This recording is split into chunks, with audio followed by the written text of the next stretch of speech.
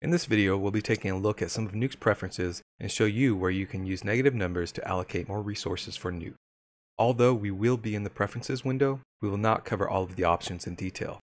The Preferences window shown in this video is from Nuke Studio, but will still include some preferences that are applicable to Nuke X, Nuke, and Hiero.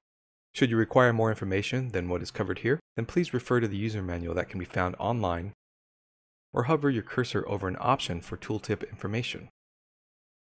Start with opening up Preferences by pressing Shift S on the keyboard. We'll start at the top and work our way down. Under the General Settings, you can find a very useful option called Path Substitutions.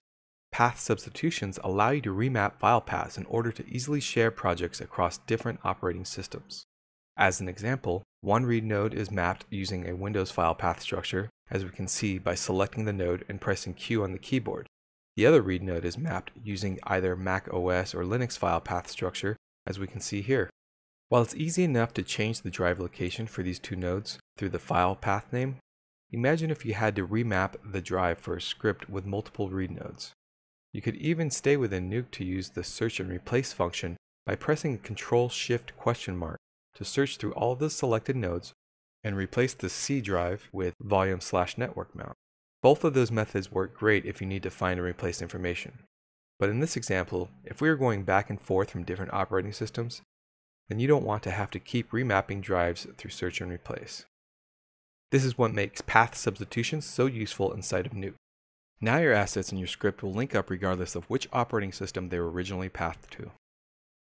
In the Performance section under Caching, you'll want to make sure your temp directory is set to the fastest accessed local drive for the best playback performance limit to GB. This allows you to set the maximum amount of space in gigabytes to use for the timeline disk cache. Set this to zero for no limits on your available disk space. Setting the values lower than zero will leave you that amount of disk space free for system functions outside of Nuke. Clear all removes all cache files from the root directory specified in the directory path control. A dialog window displays a list of files for confirmation before the files are deleted. Temp directory the comp disk cache saves all recent images displayed in the viewer for fast playback. Select a local disk preferably with the fastest access time. Setting the comp disk cache size is the maximum amount of disk space that Nuke can allocate for caching. This is independent of the playback cache, and setting this control to zero also disables Nuke's RAM cache, as both caches rely on files written to disk. If you do a lot of paint work, then setting the RotoPaint cache size helps ensure you won't run out of RotoPaint disk cache. When you run out of RotoPaint disk cache, you'll notice that your painting response starts to slow down if there are a lot of strokes. One thing to note about playback cache size is that it's measured in the percentage of system RAM. The entire amount of RAM is allocated, even if you only have a few frames in the viewer cached.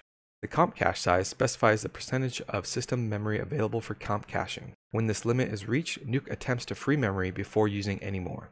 This may be why your comp script might hang for a moment before you can do anything. The comp playback cache size specifies the percentage of comp cache available for comp playback.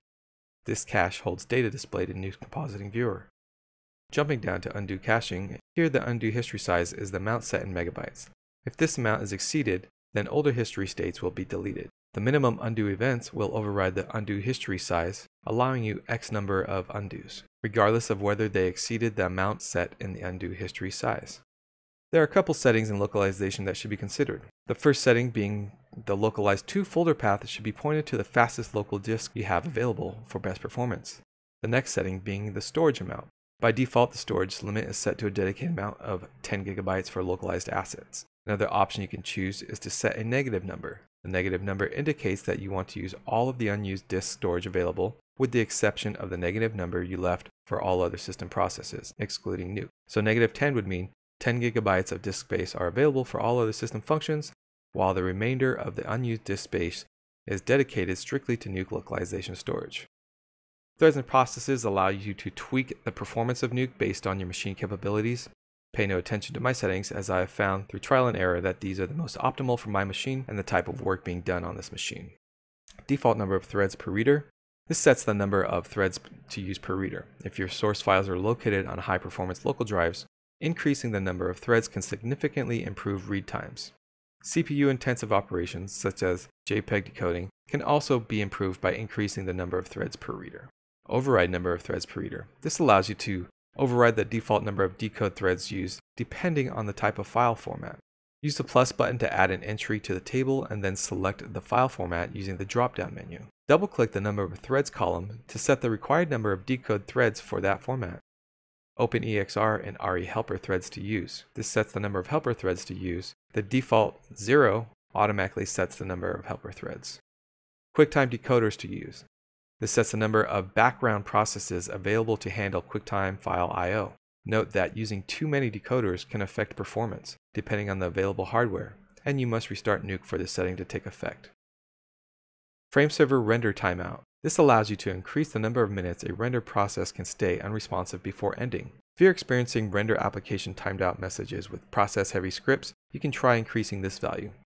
Frame server processes to run.